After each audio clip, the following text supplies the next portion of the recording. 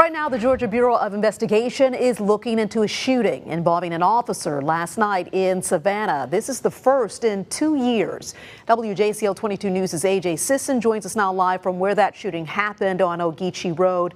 And AJ, the GBI has charged the shooter. Yeah, Shannon, actually right now where I'm standing is where the incident happened in the parking lot behind the Circle K right off Ogeechee Road. Savannah police tell us that the suspect fired at police first and now faces four separate charges.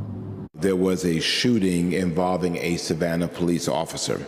This is our first officer involved shooting in almost two years.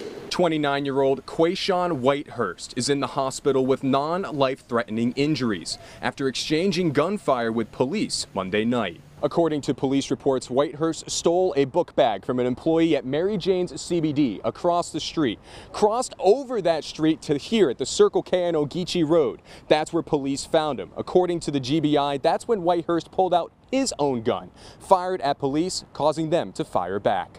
It is the policy of the Savannah Police Department not to investigate ourselves. The Georgia Bureau of Investigation has taken the lead on this case and charged Whitehurst with aggravated assault, possession of a firearm during commission of a crime, as well as a convicted felon and felony obstruction.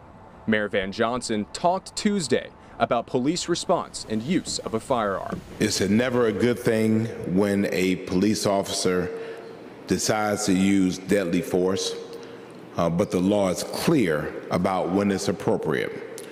And that's why investments in training are so important, not only to create muscle memory, but to create institutional judgment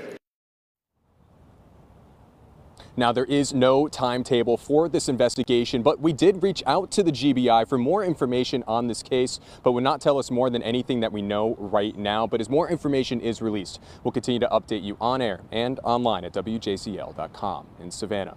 AJ Sisson, WJCL 22 News. AJ, thanks so much for that live report.